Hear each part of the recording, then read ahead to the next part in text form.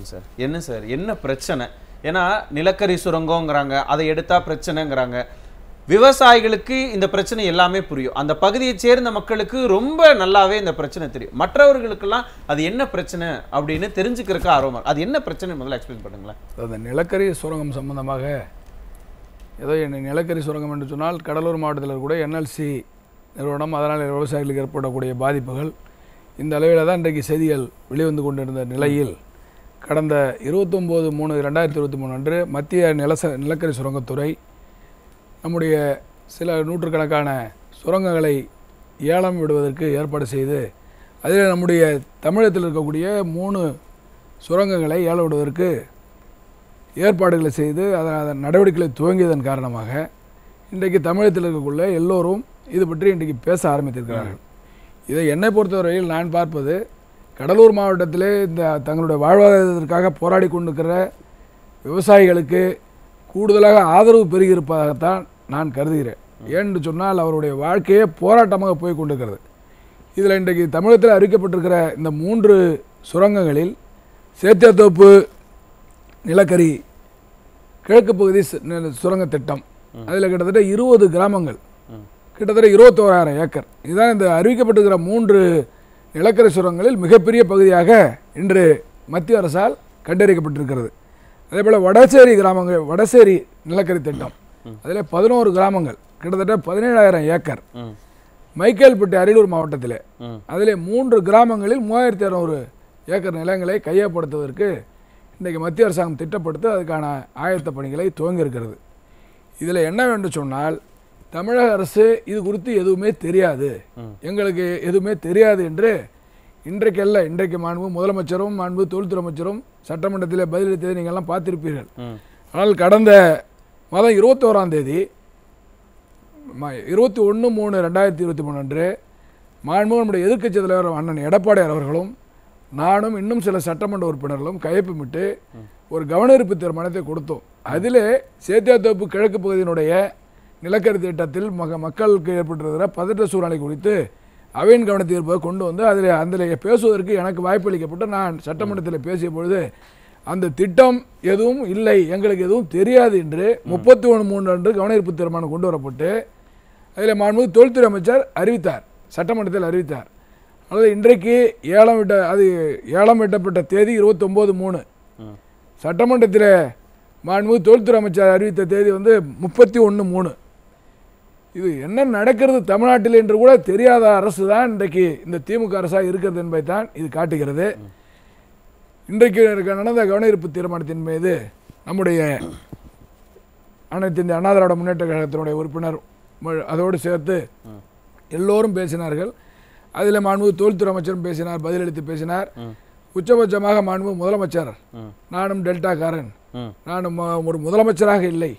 மக்களுடைய ஒரு ம உணர்வாக நான் வந்து திரு நான் இது போன்ற வருத்தப்படுகிறேன் என்றெல்லாம் ஒரு உருக்கமாக பேசி மக்களுடைய கவனத்தை ஈர்க்க பார்த்தார்.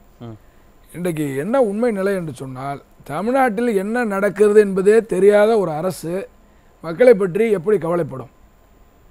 தமிழக மக்களுக்காக நான் ஓயாம உழைச்சிக்கிட்டு இருக்கேன் அப்படின்னு எங்க போனாலும் முதல்வர் சொல்றாரே சார். உழைச்சிக்கிட்டு இருக்க விளம்பரம் தான் நடந்துகிட்டு இருக்க ஒழிய உழைக்கிறாரான்றது மக்களுக்கு தெரியும். இன்றைக்கு மாண்பு முதலமைச்சர் அவர் பேசிய பேச்சு நான் வந்து ஒரு டெல்டாக்காரன். நான் இதில் வந்து நான் வந்து இது பண்ணுறேன்னு சொன்னேன். ஆனால் இதே தான் ம- ம- மாண்புமிகு நம்முடைய எதிர்க்கட்சி தலைவர் அண்ணன் எடப்பாடியார் அவர்கள் இன்றைக்கு சட்டமன்ற வளாகத்தில் பத்திரிகையாளர் சந்திக்கின்ற போது மிக தெளிவாக அவருடைய கருத்தை சொன்னார்.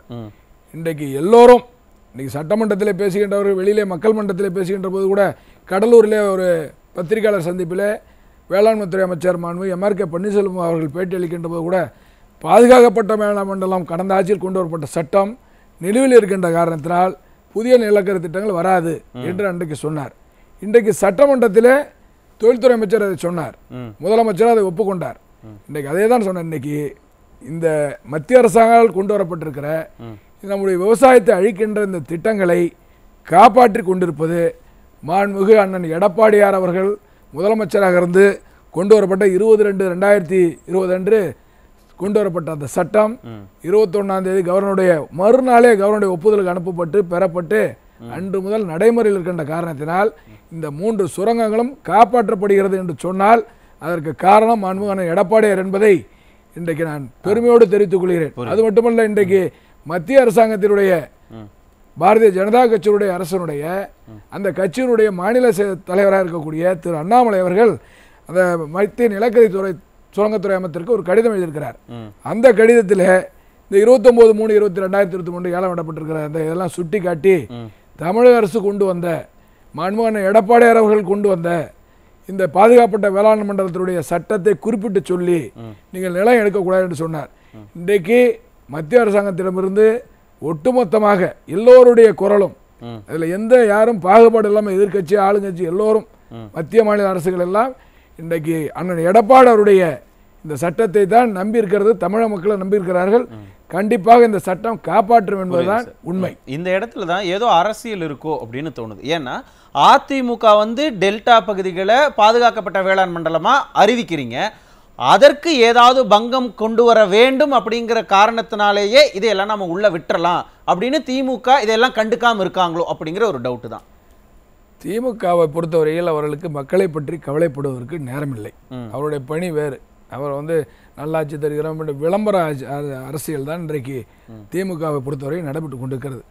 இன்றைக்கு இந்த பாதுகாப்பட்ட வேளாண் மண்டலம் சட்டம் இல்லை என்று சொன்னால் புதுக்கோட்டை மாவட்டத்தில் ஒரு ஹைட்ரோ கார்பன் திட்டம் திமுக கொண்டு வரப்பட்ட அந்த திட்டம் கைவிடப்பட்டிருக்கிறது. மாண்புமான எடப்பாடி அவருடைய அந்த பாதுகாப்பட்ட வேளாண் மண்டல சட்டத்தின் காரணமாக இன்றைக்கு என்ன நடக்கிறது தமிழ்நாட்டில் என்ற ஒரு நிலையே தெரியாமல் இந்த அரசு சட்டமன்றத்திலே மாண்பு அமைச்சர் நான் கொண்டு வந்த கவனிப்பு தீர்மானம் மீது பதில் சொல்கின்ற பொழுது இந்த சேத்தியாத்தோப்பு கிழக்கு பகுதி அன்றைக்கு கூட எனக்கு வடசேரியும் தெரியாது மைக்கேல்பட்டி விஷயமும் தெரியாது. என்னுடைய தொகுதி புவனகிரி தொகுதியில் இருக்கக்கூடிய சேத்தியாத்தோப்பு கிழக்கு பகுதி நிலக்கரி திட்டத்தை பற்றி நான் கவனிப்பு தீர்மானம் கொண்டு வரும்போது அப்படி ஒரு திட்டம் இல்லை என்று சொல்லி முப்பத்தி ஒன்று மூணு ரெண்டாயிரத்தி இருபத்தி மூணு அறிவிக்கிறார்.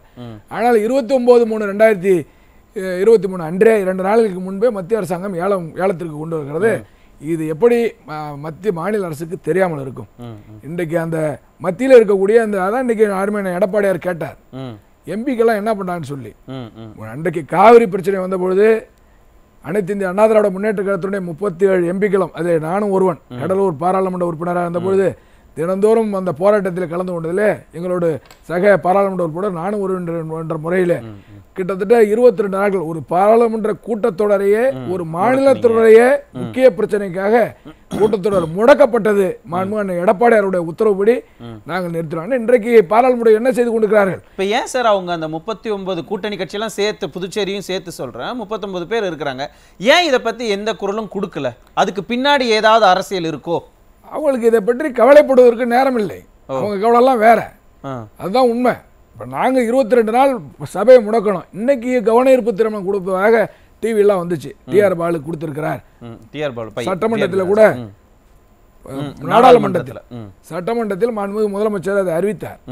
இன்னைக்கு என்ன காரணம்னு சொன்னால் இந்த வடசேரி பகுதி இது இந்த மூன்று சுரங்கங்களில் அதிக மக்கள் எதிர்ப்பை விவசாயிகள் அதுன்னு சொல்லி கவனத்தை ஈர்த்தது வடசேரி பகுதி தான் நான் பார்க்கிறேன். ஏன்னா நாங்கள் சேத்தியத்தோப்பு நெய்வேலி வளையமாதேவி கரிவெட்டி கத்தாழி இந்த கிராமங்கள்லாம் தொடர்ந்து நாங்கள் போராடி கொண்டிருக்கிறோம். எங்களுடைய போராட்டம் தொடர்ந்து நடந்து கொண்டிருப்பதால் இது புதிதாக வந்தால் கவனத்தை ஈர்த்திருக்கிறது. எனவே தான் அதில் இன்னும் சொல்ல போனால் திரு. டிஆர் பாலு அவர்களுடைய சொந்த ஊர் இன்னைக்கு அவருடைய மகன் சட்டமன்றத்தில் பேசினார். என்னுடைய சொந்த ஊரும் இந்த வடசேரி நிலக்கரி சுரங்க திட்ட பகுதியில் வருகிறது. என்பதால் அவர் கூடுதலாக அக்கறை எடுத்துக்கொண்டு இன்னைக்கு கவன திருப்பதில் கொண்டு வரலாம். வேண்டுமென்றால் நாளைக்கு காலையில் இருந்து இப்போ ஏதோ வேறு பிரச்சனையில் பாராளுமன்றம் முடக்கப்பட்டு கொண்டிருக்கிறது. இதையும் சேர்த்து மக்களுடைய இந்திய மக்களுடைய கவனத்தை ஈர்த்த காரணத்தினால தான் காவிரி காப்பாற்றப்பட்டது என்று இன்றைக்கு அருமையன் எடப்பாடியார் பெருமையாக சொன்னார். அதுபோல நடவடிக்கையில் பாராளுமன்ற ஈடுபட வேண்டும் என்றுதான் இன்றைக்கு அவர் மக்கள் மன்றத்தில் இன்னொரு முக்கியமான விஷயத்தையும் சொல்லியிருந்தாரு. இது வந்து மத்திய அரசு சம்பந்தப்பட்ட பிரச்சனை. இதை நீங்க சட்டமன்றத்துல பேசி என்ன பிரயோஜனம்? கண்டிப்பா. ஏன் நீங்க நாடாளுமன்றத்துல கொண்டு போகல அப்படின்னு சொல்றாங்க ஆனா இப்ப பிரயோஜனமே இல்லாத ஒரு விஷயத்த சட்டமன்றத்துல ஏன் இவங்க வந்து இது இதைத்தான் நம்ம இங்க தான் பேசணும் அப்படின்னு இருக்கிறாங்க? தமிழக மக்களுக்கு நாங்கள்லாம் ஆக்டிவாக இருக்கிறோம். உங்களோட அக்கறையாக இருக்கிறோம்னு காட்டுவதற்காக. நான் என்னுடைய தொகுதியில் இருக்கக்கூடிய என்னுடைய கடலூர் மாவட்டத்தில் இருக்கக்கூடிய விவசாயிகள். நிலம் வீடுகளை கொடுத்த விவசாயிகள். அந்த நிலங்களில் கூலி செய்ய கூலி வேலை செய்து கொண்டிருக்கிற விவசாய தொழிலாளர்கள். தொடர்ந்து தங்களுடைய வாழ்வாதாரத்திற்காக போராடி கொண்டிருக்கிறார்கள். அவருடைய கேள்வி சம அளவு இழப்பீடு வேண்டும். இதுதான் அவங்க ஒன்றா கேட்குறது. நிரந்தர வேலை வாய்ப்பு ஒன்று ஒன்றும் பெருசாக கேட்கல. ஆயிரக்கணக்கான கோடி லாபம் வருடத்திற்கு ஈட்ட ஈட்டக்கூடிய என்எல்சி நிறுவனத்திலிருந்து அண்ணனுக்கு அஞ்சு லட்ச ரூபா இழப்பீடு தம்பிக்கு இருபத்தஞ்சு லட்சம்.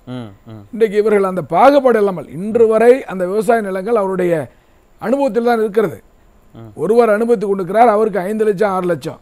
இன்னொருவருக்கு இருபத்தஞ்சு லட்சம். இது என்ன நியாயம் என்று தான் போராடி கொண்டிருக்கிறார்கள் அந்த மக்கள் இன்றைக்கு ஒடுக்கப்பட்டு கொண்டிருக்கிறார்கள். கண்டிப்பா அந்த காவிரி டெல்டா மக்களுடைய அந்த போராட்டத்தை அரசு கண்கொண்டு பார்க்குமா செவி கொடுத்து கேட்குமா அப்படிங்கிறத நம்ம பொறுத்திருந்து பார்க்கலாம். கருத்துக்களை பகிர்ந்துள்ளதுக்கு மிக்க நன்றி. சார்.